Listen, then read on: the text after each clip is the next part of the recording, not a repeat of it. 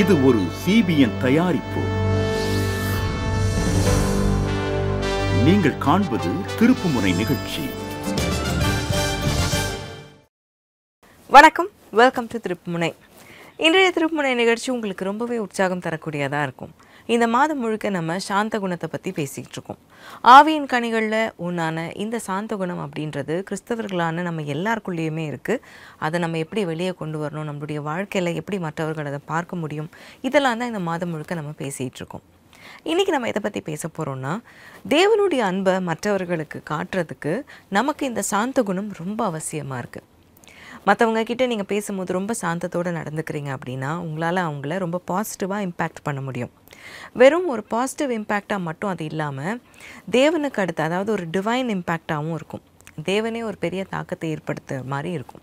So இன்றைக்கி இதை பற்றி தான் பேச போகிறோம் இயேசு கிறிஸ்து இந்த பூமியில் இருக்கும்போது இந்த பூமியில் இருக்கிற மற்ற மனிதர்களுக்கு நம்ம எப்படி இருக்கணும் அப்படின்றத பற்றி நிறைய சொல்லியிருக்காரு. வெளிச்சமாக இருக்கணும். இந்த பூமியில் நம்ம வந்து உப்பை போல் இருக்கணும் அப்படின்னு சொல்லியிருக்காரு. வெளிச்சமாக உப்பாக இருக்கணும் அப்படின்னா மற்றவர்களை போலவே நம்ம இருக்கக்கூடாது. ஸோ அதுக்கு இந்த சாந்த குணம் அப்படின்றது ரொம்ப முக்கியம். மற்றவங்கள வந்து பாசிட்டிவ் வேர்ட்ஸ் மூலமாக என்கரேஜ் பண்ணுறதா இருக்கட்டும். இல்லைன்னா ரொம்ப கவலையில் டிஸ்கரேஜ்டாக இருக்கிறவங்களுக்கு நம்ம வந்து ரொம்ப ஆறுதலாக பேசுகிறதா இருக்கட்டும். அன்பை இந்த மாதிரி எல்லா நல்ல விஷயங்களையும் நம்மளுடைய வார்த்தையின் மூலமாக நம்ம வெளிப்படுத்த முடியும். அதை நம்ம ரொம்ப ஜென்டிலாக பண்ணும்போது நம்மளால் ஒரு பெரிய தாக்கத்தை ஏற்படுத்த முடியும். தேவனுடைய அன்பை தேவனை பற்றி தெரியாதவங்க நம்மளுடைய இந்த ஜென்டில்னஸ் மூலமாக உணர்வாங்க புரிஞ்சுக்குவாங்க. அடுத்ததாக குவிஸ் டைம்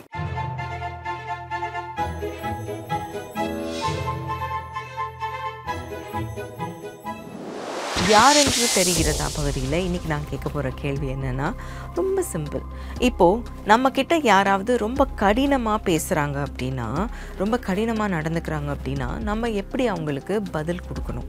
எப்படி நம்ம அதுக்கு ரெஸ்பாண்ட் பண்ணணும்? இதுதான் இன்றைக்கோட கேள்வி. ரொம்ப ரஃப் அண்ட் டஃபாக இருக்காங்க. ரூடாக அரகண்ட்டாக நம்மக்கிட்ட நடந்துக்கிறாங்க பேசுகிறாங்க அவங்களுக்கு நம்ம எப்படி பதில் தரணும்? ஆப்ஷன் ஏ கடினமாக பதில் தரணும். ஆப்ஷன் பி பதிலே தர வேண்டாம். ஆப்ஷன் சி ரொம்ப கோவத்தோட பதில் தரணும். ஆப்ஷன் டி அன்பாக பதில் தரணும். சரியான விடை நிச்சயமாக உங்களுக்கு தெரியும். யூடியூப்பில் சிபிஎன் இந்தியா அப்படின்ற சேனலில் இந்த வீடியோனுடைய கமெண்ட் செக்ஷனில் உங்களுடைய பதிலை எங்களுக்கு சொல்லுங்கள் இப்போ நம்ம சஞ்சயை சந்திக்கலாம். அவருடைய வாழ்க்கையில் தேவனுடைய அன்பை வந்து அவர் பார்த்தார்.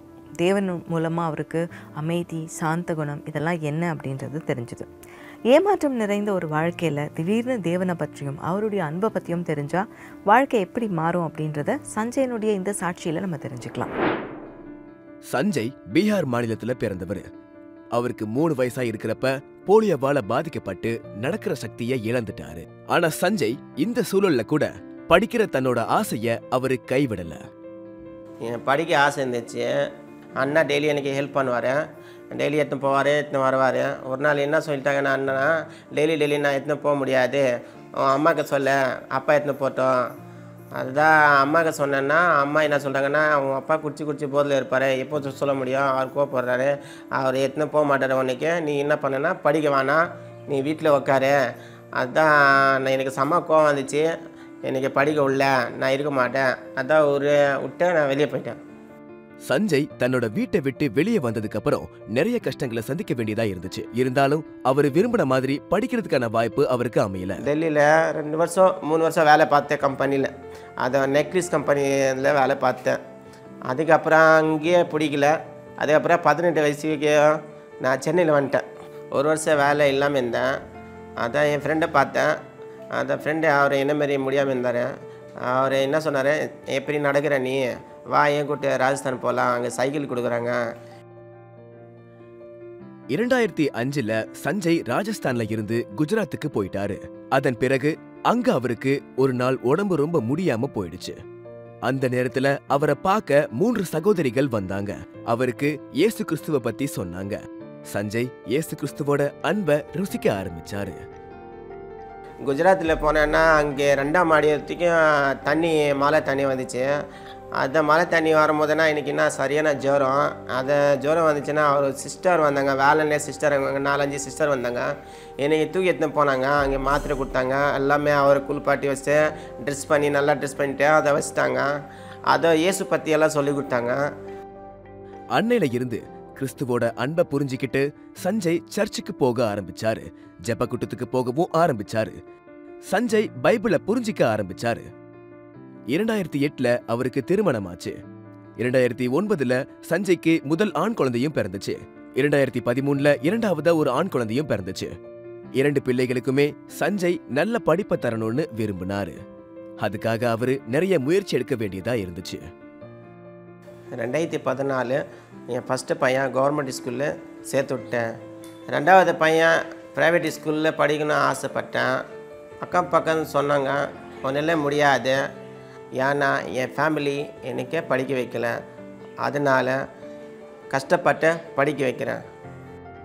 சஞ்சயோட இந்த நிலைமையால யாருமே அவருக்கு வேலை தர்றதுக்கு தயாரா இல்ல. குறிப்பா அவருக்கு எந்த வேலையும் இல்லாததால அவரு ரொம்ப கஷ்டப்பட ஆரம்பிச்சாரு. பாசக சொன்னாங்க என்ன என்ன பண்ண முடியும்?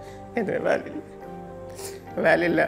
பாசம் சொன்னாங்க வா சர்ச்சுக்கு ஜெபம் பண்ணு கண்டிப்பாக கிடைக்கும்.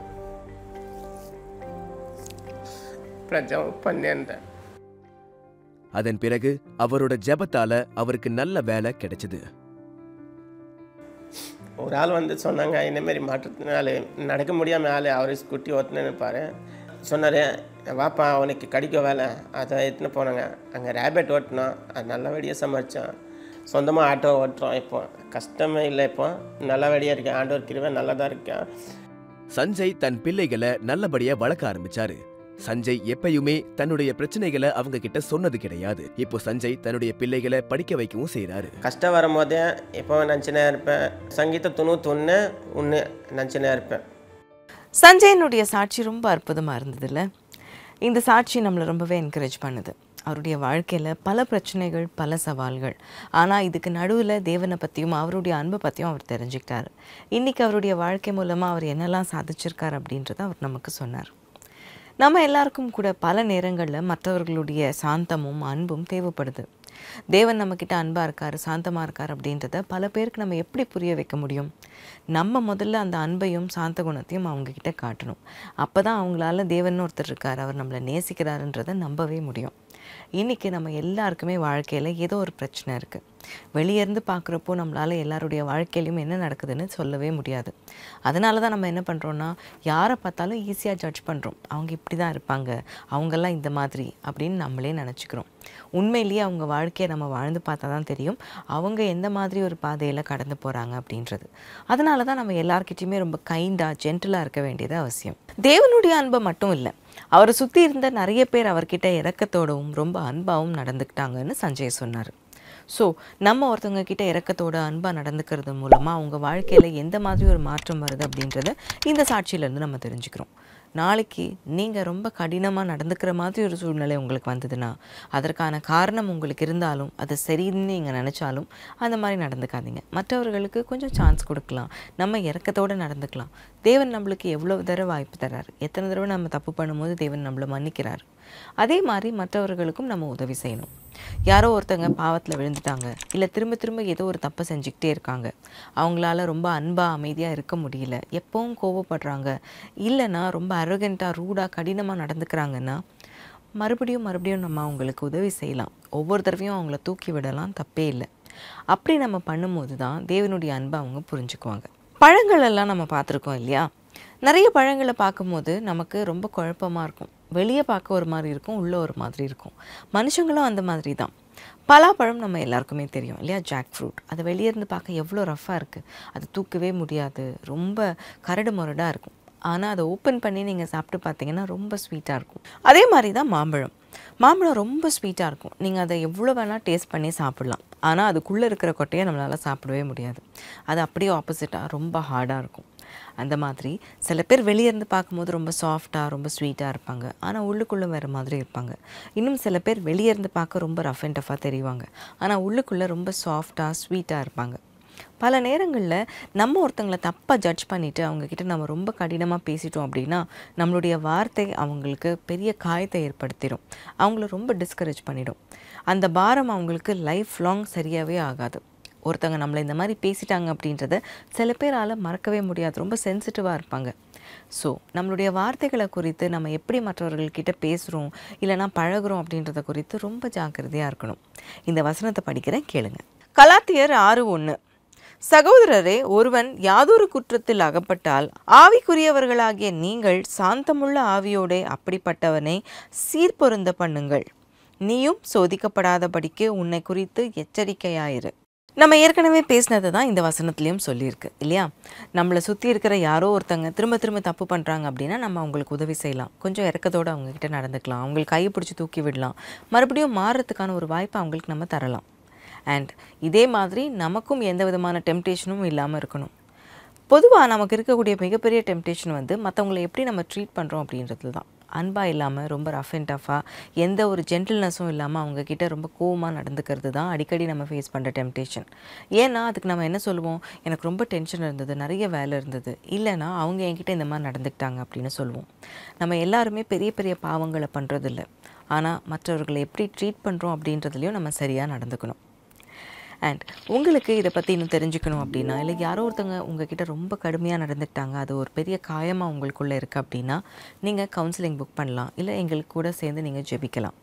W W W dot CBN India dot ORG slash CBN offerings இந்த லிங்க்கை நீங்கள் கிளிக் பண்ணிங்கன்னா உங்களுக்கான கவுன்சிலிங் ஸ்லாட்டை புக் பண்ணிக்கலாம். அது மட்டும் இல்லை double nine one zero four zero one zero one zero இந்த நம்பருக்கு கால் பண்ணிங்கன்னா உங்களுக்காக உங்கள் கூட சேர்ந்து நாங்கள் ஜெபிப்போம். வாட்ஸ்அப் மூலமாகவும் நீங்கள் இந்த நம்பரில் எங்களை தொடர்பு கொள்ளலாம். திருப்புனை நிகழ்ச்சியில் அடுத்ததாக ஒரு சிறிய இடைவேளை இடைவேளைக்கு பிறகு சந்திப்போம்.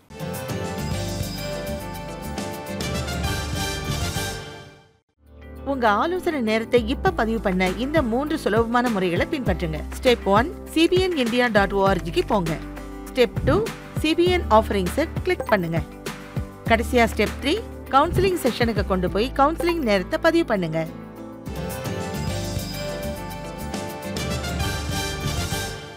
வெல்கம் பேக் டு திருப்புமுனை நம்மளுடைய இரக்கமும் நம்மளுடைய சாந்த குணமும் தான் தேவனுடைய அன்பை மற்றவர்களுக்கு காட்டும்.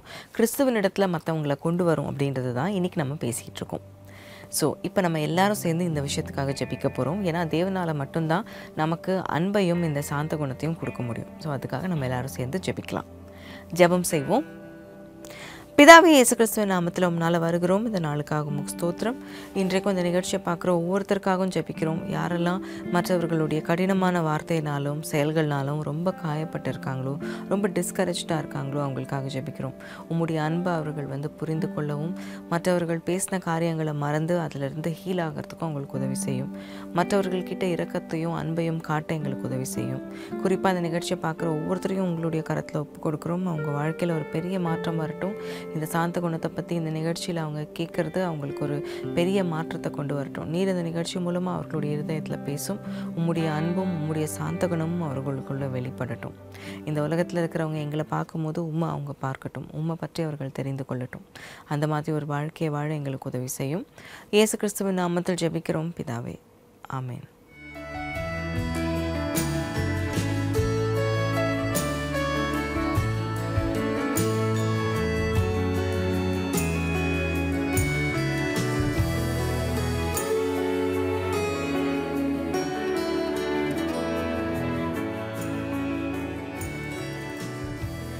கொலோசேயர் மூன்று பதினான்கு. இவை எல்லாவற்றின் மேலும் பூரண சர்க்குணத்தின் கட்டாகிய அன்பை தரித்து கொள்ளுங்கள். எல்லாவற்றிற்கும் மேலே அன்பு தான் இருக்குது தேவன் அன்பாகவே இருக்கார். இந்த மாதிரி அன்பை பற்றி எவ்வளோ படிக்கிறோம்ல நம்ம உள்ளத்தில் உண்மையிலேயே அன்பு இல்லைன்னா நம்மளால் சாந்த குணத்தோடு நடந்துக்க முடியாது. அதுதான் சீக்ரெட் தேவனுடைய அன்பை நீங்கள் பெற்றுக்கொள்ளும் போது தான் உங்களால் அந்த ஜென்டில்னஸ் கைண்ட்னஸ் இதெல்லாம் மற்றவங்க கிட்ட காட்ட முடியும். தொடர்ந்து இதை பற்றி பேசலாம். அது மட்டும் இல்லை திருப்புனை நிகழ்ச்சியில் அடுத்ததாக ஒரு சின்ன பிரேக் எடுக்க போகிறோம் பிரேக் அப்புறமா ரொம்ப ஒரு ஹிஸ்டாரிக்கான ஒரு சர்ச்சை நம்ம சுற்றி பார்க்க போகிறோம்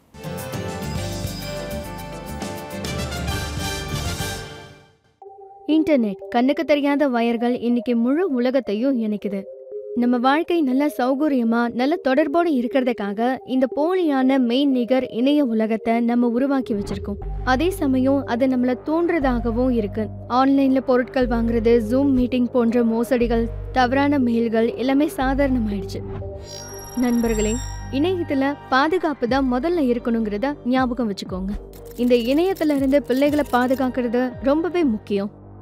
இணையதளம் கத்துக்கிறதுக்கு பொருட்கள் வாங்க விளையாட நண்பர்களோட பேச ஒரு அருமையான இடமா இருக்கு. துரதிருஷ்டவசமா நம்ம பிள்ளைகளை ஏமாத்தக்கூடிய தீங்கு தரக்கூடிய பகட்டான அடையாளப்படுத்துதல் அங்க இருக்கு.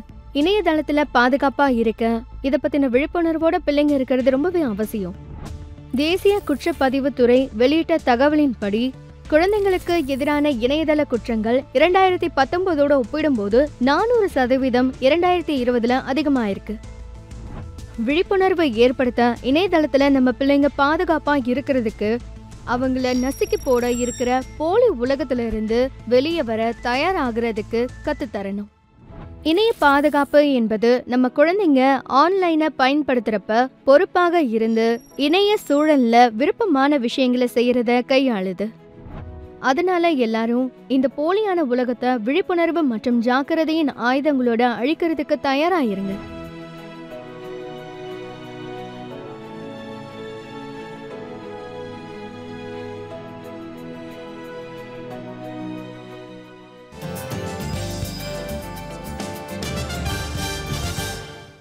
வெல்கம் பேக் டு திருப்புமுனை நம்மளுடைய இரக்கமும் சாந்தகுணமும் தான் தேவனுடைய அன்பை மற்றவர்களுக்கு காட்டும் அப்படின்றத தான் பேசிகிட்டு இருக்கோம்.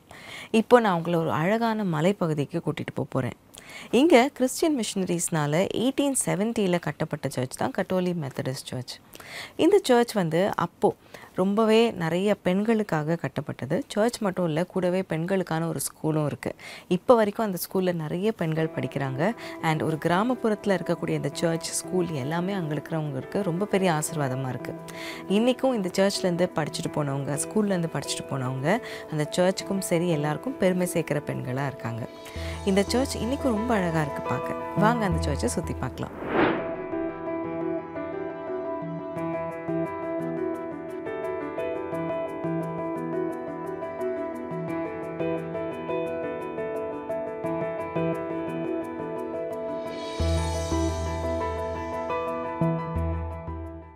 நீங்கள் இப்போ பார்க்குற அந்த மகத்துவமான கட்டிடம் அது கட்டோலி மெத்தடிஸ் சர்ச் அப்படிங்கிற பேரில் ரொம்பவே பிரபலமானது. ஆயிரத்தி எண்ணூற்றி தொண்ணூற்றி ஒம்போதாவது வருஷம் இது மேரி என்சைன் கில் அவங்க பெயரால் நிறுவப்பட்டுச்சு.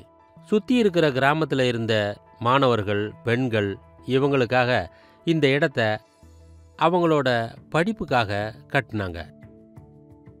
இதனால் இங்கே இருந்த நிறைய பேர் அதிக அளவில் பயனடைஞ்சாங்க. இங்கே ஹாஸ்டல் இருந்ததுனால பிள்ளைங்க எல்லாரும் இங்கே தங்கினாங்க.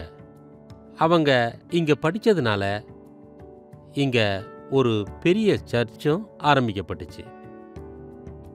இப்பத்துலேருந்து கிட்டத்தட்ட நூற்றி இருபத்தஞ்சி வருஷங்களுக்கு முன்னாடி இந்த கற்களை கொத்தனார் மூலமாக ரொம்பவே கஷ்டப்பட்டு வெட்டி எடுத்தாங்க. இதில் எங்கேயும் எதுலேயும் மறுபடியும் சீரமைப்பு பணி எதுவுமே செய்யலை.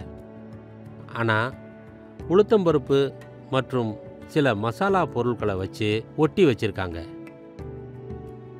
இதுக்கு மேலே நாங்கள் எப்போவுமே வெள்ளை அடிக்கிறதும் கிடையாது பெயிண்ட் அடிக்கிறதும் கிடையாது. நீங்கள் பார்க்குறது போல் இந்த இடம் முழுசுமே ஒரிஜினல் தான். நான் சர்ச்சு தளத்தை நோக்கி உங்களுடைய கவனத்தை கொண்டு போனாலும் இப்போது சர்ச் தளத்தில் கார்பெட் போட்டிருந்தாலும் கூட கீழே பட்டான் அப்படின்னு சொல்லப்படுற பெரிய பெரிய கற்களை நல்லா வெட்டி எடுத்து இதுக்கு நல்ல அடித்தளமாக கொடுத்துருக்காங்க. ஆனால் இன்றைக்கி இது போல் நாம் எங்கேயுமே பார்க்க முடியாது. அதோட இந்த தளம் எந்த ஒரு சூழ்நிலையிலையும் இது வரைக்கும் உடைஞ்சதே கிடையாது. நீங்கள் இந்த சர்ச்சோட ஜன்னல்கள் வெண்டிலேட்டர் கண்ணாடியால் செய்யப்பட்டிருக்கிற நீங்கள் பார்க்குற கலர் அடிக்கப்பட்ட அந்த கண்ணாடி அதுவுமே கூட அன்னைக்கு எப்படி இருந்ததோ அதே நிலையில தான் இன்றைக்கும் இருக்குது சரியாக இருக்கிறத நீங்கள் பார்க்கலாம். பக்கவாட்டில் சில இடங்களில் நீங்கள் ஃபயர் பாக்ஸை பார்க்க முடியும். அதோட கனெக்ஷன் மேலே இருக்கிற சிம்னியோட இருக்குது அந்த காலகட்டத்தில் ரொம்பவே குளிர் இருக்கிறப்போ இங்கே நாலா பக்கமும் சுற்றி காடாக தான் இருந்துச்சு. அதுக்கு ஏற்றபடி இந்த ஃபயர் பாக்ஸில் உள்பக்கம் நல்ல ஹீட்டாக இருக்க விறகுகளை போட்டு எரிச்சிட்டு இருப்பாங்க. மேலும் கடந்த நூற்றி இருபத்தஞ்சி வருஷமாக பல ஊழியர்கள் ஆண்டவரோட வல்லமையான ஊழியர்கள் பாஸ்டராக இந்த ஆலயத்தில் ஊழியம் செஞ்சுருக்காங்க. ஆயிரத்தி தொள்ளாயிரத்தி பதினாலு ரெவரண்ட் பிஏ ஜாஃபின் அப்புறம் reverend Scott reverend P K Manson James இம்தியான் இங்கே ஊழியம் பண்ணாங்க. அப்புறம் ரெண்டாயிரத்தி ஒம்போதில் இருந்து ரெவரண்ட் சதீஷ் மேத்யூஸ் ஆகிய நான் இங்கே ஊழியம் செஞ்சிட்ருக்கேன். எங்களுக்கு வாஸ்டர்ஸ் கமிட்டி இருக்குது அவங்களோட உதவியால் இந்த சர்ச் நடக்குது. அதோட தேவைகள் எல்லாமே பூர்த்தியாகுது. மேலும் நான் உங்ககிட்ட நீங்கள் எப்போ பவுடி வந்தாலும் கண்டிப்பாக இங்கே வாங்கன்னு உங்களை நான் வேண்டி கேட்டுக்கிறேன். உங்கள் எல்லாரையும் நாங்கள் வரவேற்கிறோம். ரொம்ப அழகான ஒரு சர்ச் இல்லை? இந்த சர்ச்சை பற்றி நிறைய விஷயங்களை சர்ச்சினுடைய போதகர் ரெவரன் சதீஷ் மேத்யூஸ் நம்மளுக்கு சொன்னார். இன்னமும் எப்படி இவர் ரொம்ப ஆழமாக தேவனுக்காக ஊழியம் பண்ணிகிட்ருக்கார் அப்படின்றதையும் அவருடைய வாழ்க்கையை பற்றியும் இப்போ நம்ம கூட ஷேர் பண்ண போகிறாரு வாங்க அவரை சந்திக்கலாம்.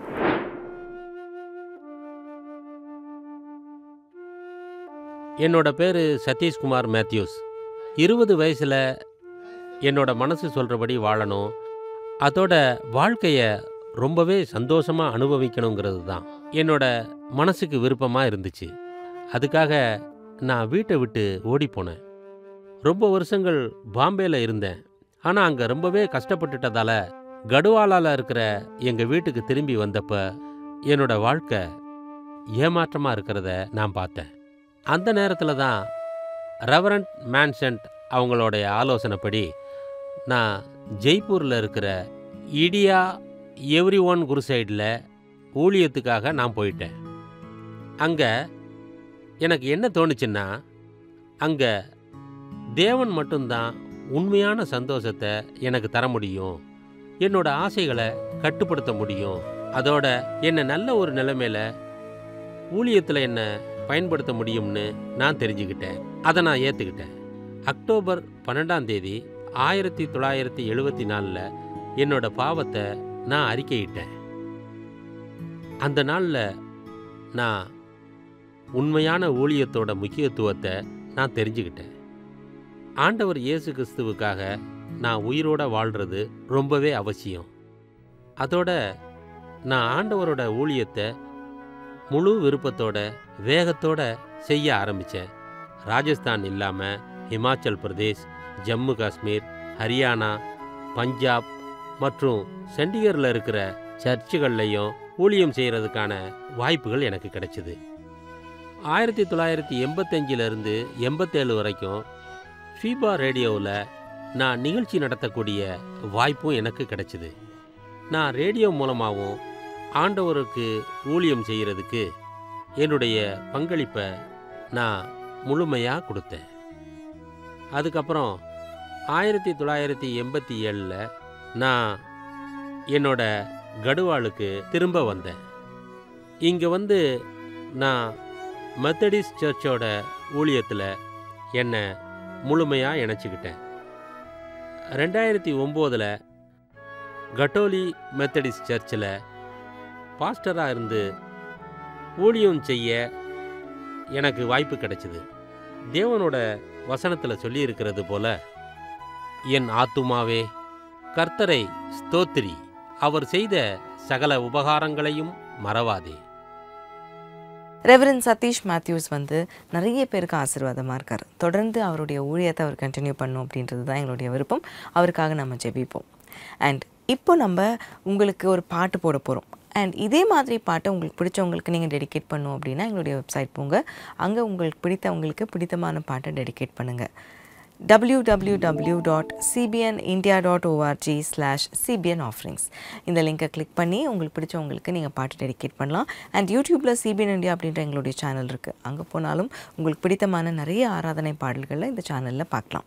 நம்மளுடைய சாந்த குணம் அதாவது ஜென்டில்னஸ் கைண்ட்னஸ் இதெல்லாம் எப்படி இயேசு கிறிஸ்து போல நம்மளை மற்றவங்களுக்கு காட்டும் அவருடைய அன்பை மற்றவர்களுடைய வாழ்க்கையில் கொண்டு வரும் அப்படின்றது தான் இன்றைக்கி பேசும் நிகழ்ச்சியில் வந்த எல்லா பகுதிகளும் உங்களுக்கு ஆசீர்வாதமாக இருந்திருக்கும். அடுத்ததாக நிகழ்ச்சியில் ஒரு இனிமையான பாடல் வருது. பாடலை பாருங்கள் மீண்டும் நாளைக்கு திருப்பி நிகழ்ச்சியில் உங்களை சந்திக்கிறேன். God bless you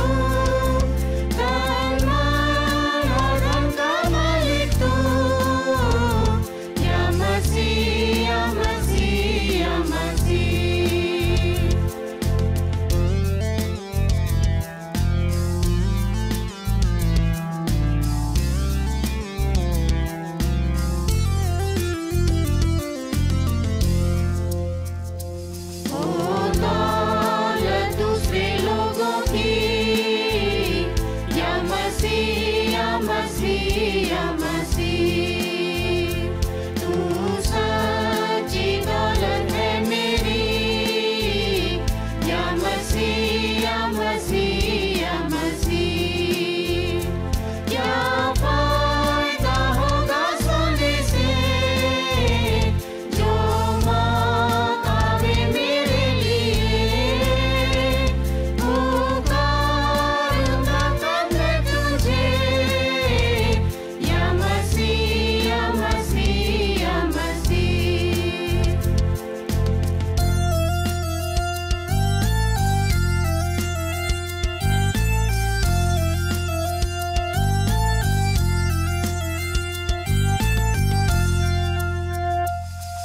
within.